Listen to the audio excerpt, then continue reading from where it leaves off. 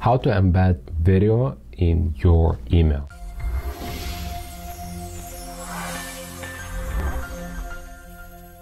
Hi, this is Andrew, the founder of Flowium Email Marketing Agency, as well as this YouTube channel. A lot of our clients are requesting us to embed videos in their emails, and the thing is, it's not possible.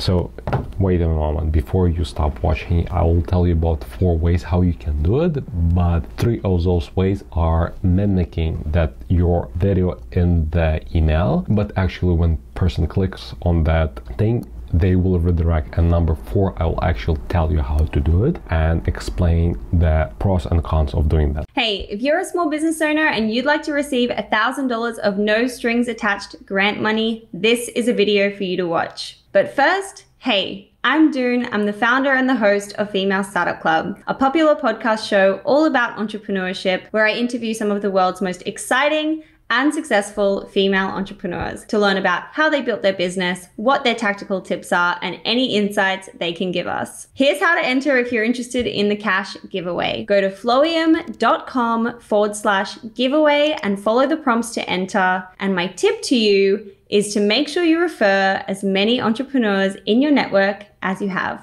Good luck! So the first way is to use static image, so your image and in the middle of the image add play button as you often see it in YouTube. And I actually received one email which I will show you right now. So here's one example. Kevin sent me this email. As you can see it, he has a static image, but he has a call to action in the middle, which is are very typical for all videos. So we know that when we click here, something will happen and video will play. But realistically when we click here it redirects us to YouTube so this is one way how you can do it second way you can use GIF image all together so it looks like it's playing video with a button in the middle. So I'll show you what campaign monitor did it as a great example. So here's campaign monitor. They gave us this example. So as you can see the play button is still static. However the image is moving and it looks like a video. So when you click there it will uh, redirect you to the video where you can see the full video. So, and the last option is to have your static image as an example number one, but the actual play button will be animated. Again, this is example thanks to campaign monitor, and this is the example. As you can see, the image is static, but the play button is moving, so which encourage people to click on it. And the last one, but not least, is how to embed actual video. So not many clients supporting this technology technology, but you are able to embed video in your email when you, you're sending out as a marketing email embedded. However, only few clients will read it. All Apple clients,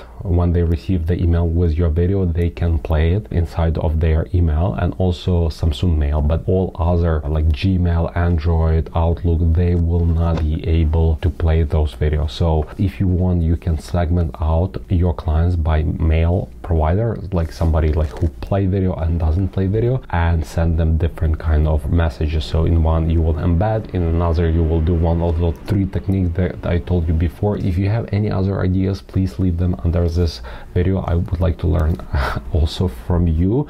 And if you have any additional questions, feel free to leave them under this video as well. Also, if you're not subscribed to this YouTube channel, please subscribe. And if you like this video, please put thumbs up because it helps our channel to grow. Thank you.